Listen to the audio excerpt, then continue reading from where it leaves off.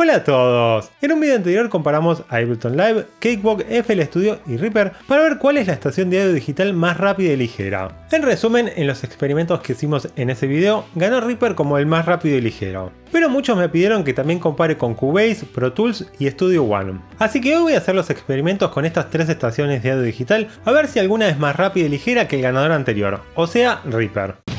Esto se va a poner feo. Y vamos a responder algunas preguntas que tal vez ya se hicieron. ¿Es Studio One más rápido y ligero que Reaper? ¿Es realmente Pro Tools el más pesado y lento de todos? ¿Es posible ser músico y comer dos veces al día? Momento, esa última no. ¡Qué mal chiste! Al igual que en el video anterior, voy a hacer una serie de experimentos usando una notebook que tengo por acá. Esta notebook tiene un Intel i5, 8 GB de RAM y un SSD. Y la voy a grabar usando una cámara para que los experimentos sean más precisos. Así no uso un software que ocupe el procesador.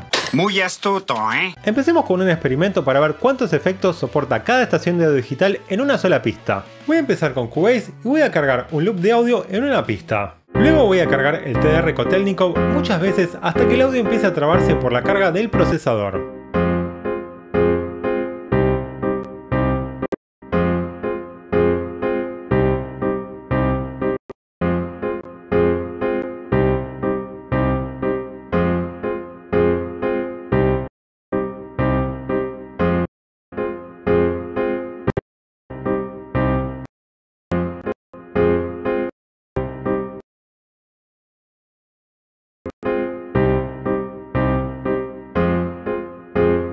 Hago lo mismo en Pro Tools.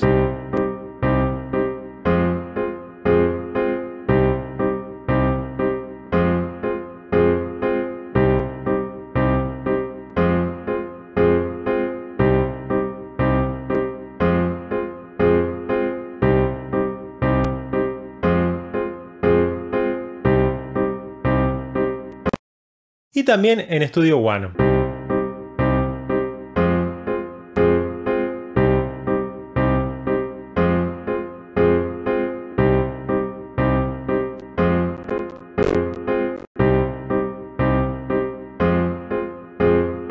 Para el segundo experimento vamos a probar el consumo de memoria de cada estación de audio digital. Voy a agregar 5 efectos en una pista para ver cuál consume menos memoria. Primero con Cubase, vemos que está usando actualmente 411 MB de memoria. En una pista vacía agrego el TDR Kotelnikov 5 veces y vemos que usó unos 22 MB de memoria. Sigamos con Pro Tools, vemos que está usando ahora 581 MB de memoria. Agrego 5 TDR Kotelnikov y vemos que usó 22 MB de memoria. Sigamos con Studio One, está usando 453 MB de memoria. Agrego 5 TR Kotelnikov y uso 20 MB de memoria. Sigamos con una prueba para ver cuál de estas estaciones de digital maneja mejor el trabajo en paralelo. Voy a hacer algo similar a la primera prueba, pero en vez de usar una sola pista, voy a usar 4 pistas. Empecemos con Cubase. Cargo 4 archivos de audio en 4 pistas distintas y voy a ir agregando muchos TDR Kotelnikov hasta que el audio empiece a trabarse por la carga del procesador.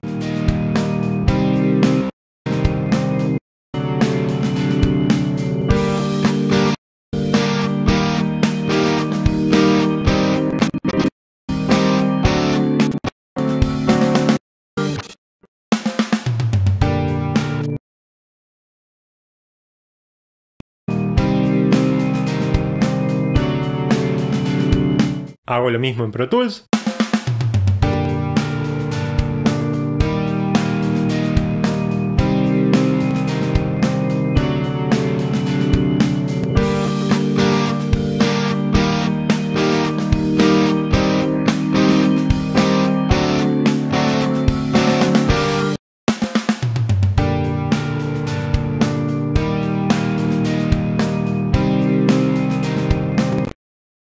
Y también en Studio One.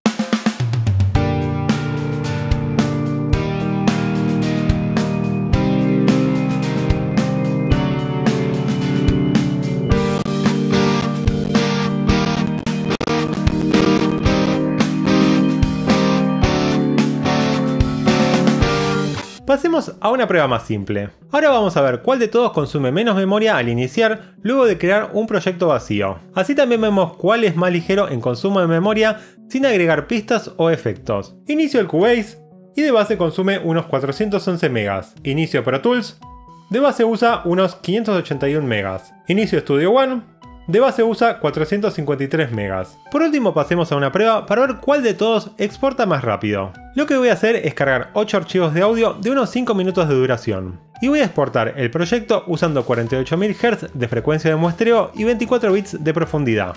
Cargo los archivos en Cubase y exporto la mezcla a 48000 Hz y 24 bits de profundidad. Ahora con Pro Tools, cargo los archivos y exporto la mezcla a 48000 Hz y 24 bits de profundidad. Por último con Studio One, cargo los archivos y exporto la mezcla también a 48000 Hz y 24 bits de profundidad. Ahora llegó el momento esperado por todos, en donde vamos a comparar los resultados. Primero igualmente repasemos los resultados del video anterior, en donde comparamos a Ableton, Cakewalk, FL Studio y Reaper.